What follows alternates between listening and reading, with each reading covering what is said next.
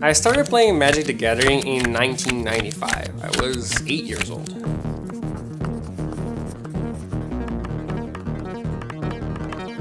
My name is Paulo Vitor Damo da Rosa, and you might know me as PVDDR.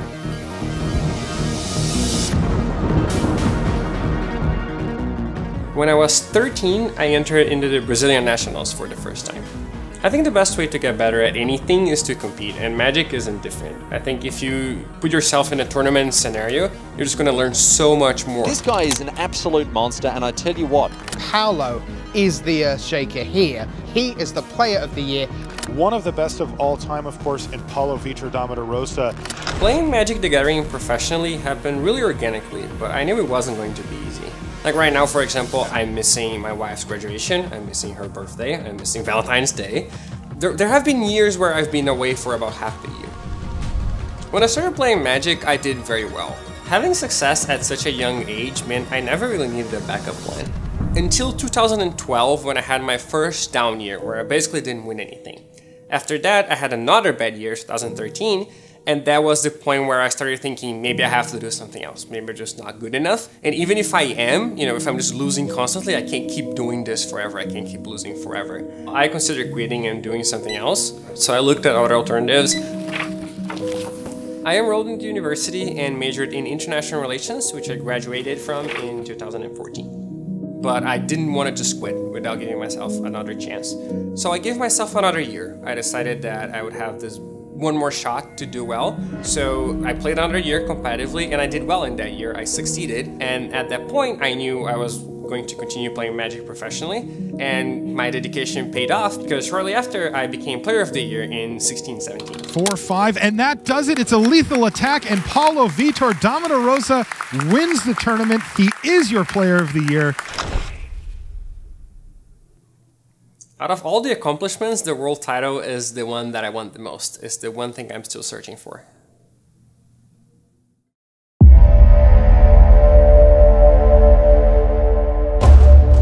Welcome to coverage of World Championship 26, powered by Alienware from beautiful Honolulu, Hawaii. Hello, everyone, wherever you are around the world.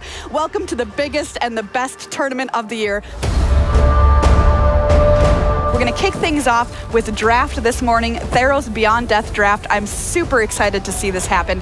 If you get two wins, you get boosted up into the winner's bracket. Two losses will send you down into the elimination bracket, which is where we pick up standard later today. So if I could redo the draft, I, I definitely would. I'm not very happy with it, but it's a reasonable deck. It's not bad, but I'm not thrilled about it. I won the first match. It was kind of uh, quick because I don't think my opponent had very many good draws. And even though I don't like the white decks, they can punish bad draws a lot. So for example, in game one, my opponent didn't play a third land and I just had, you know, four creatures in play at that point and there was really nothing he could do. So yeah, things are going well so far.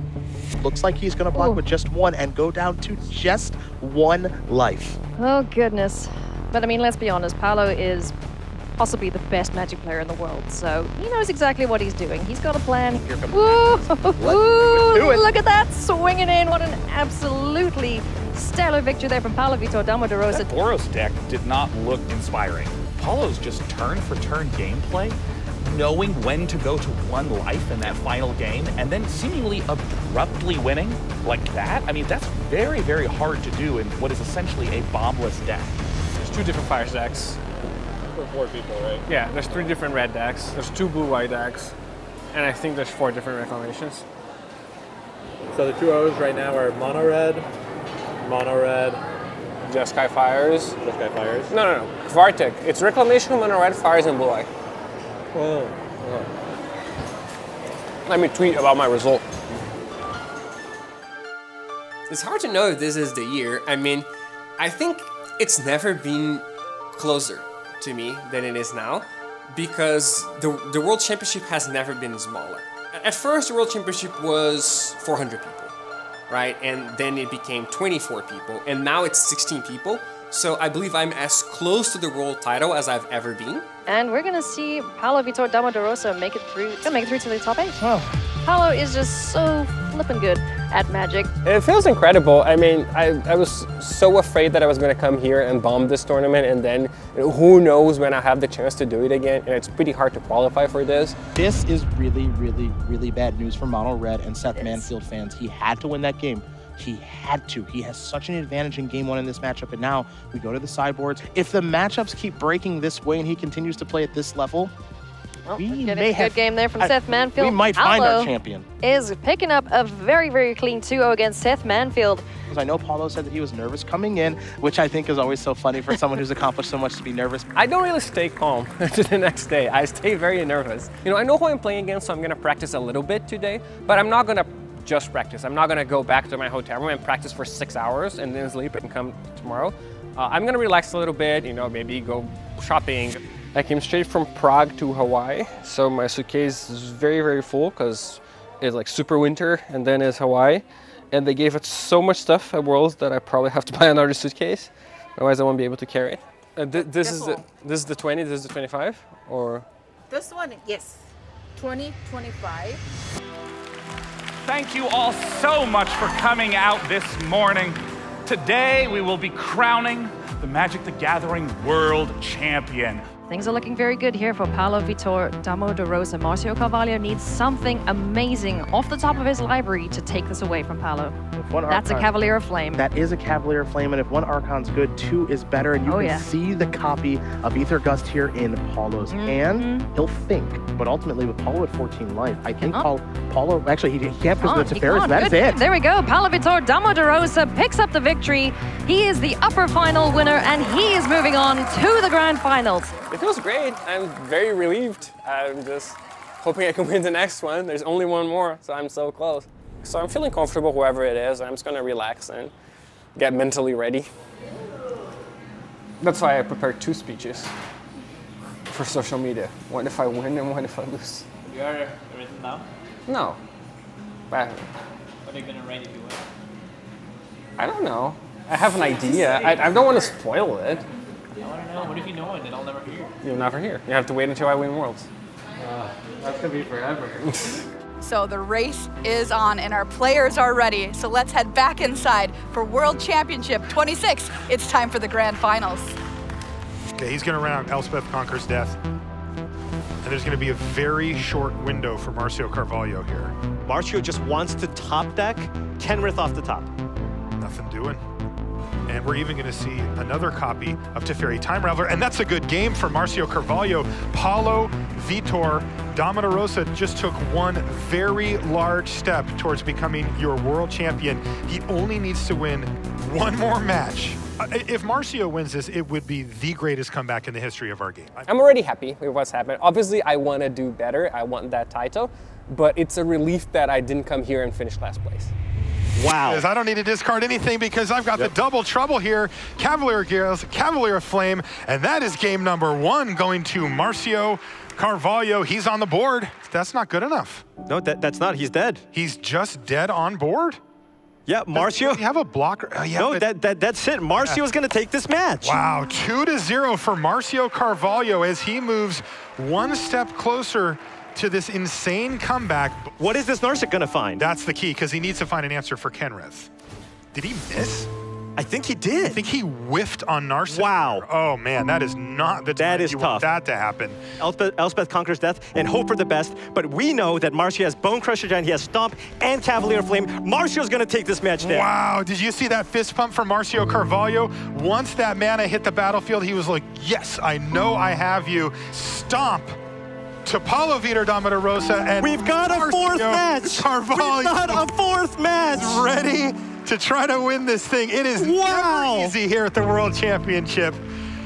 He's got to reset You know here. who else needs to? Paulo. He's used to the highest stakes, but this is unlike anything we've ever seen. We're playing for $300,000. He won the first match pretty quickly, and the wheels have well and truly come off for him. He needs to get centered, have some good draws, and try to win this uh, championship. I hope this is the year, but obviously there's no way to know that.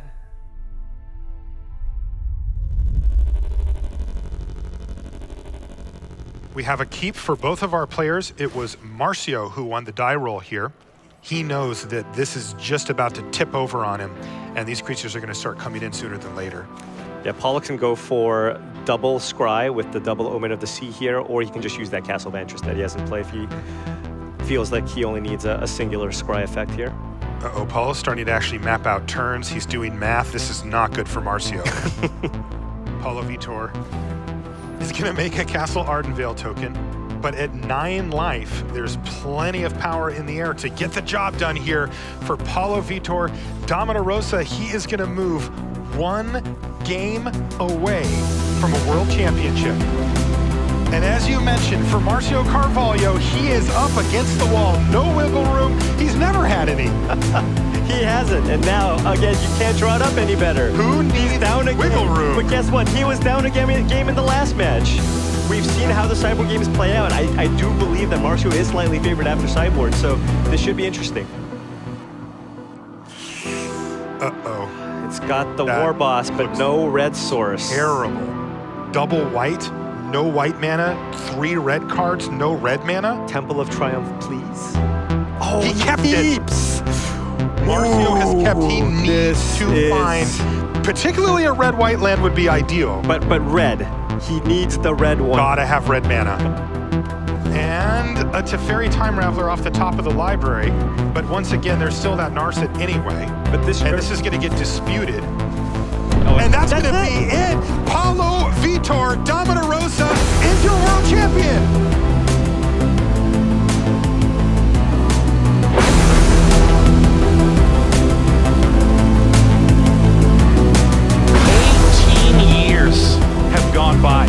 You get to be world champion.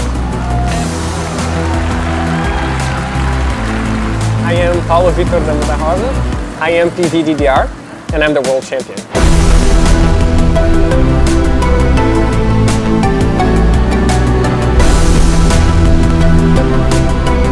It is sort of a culmination of all my work in Magic, uh, because I, I feel like I've already done everything else. This was the one thing that, you know, I still had to do, right? I won the biggest tournament in the history of the game.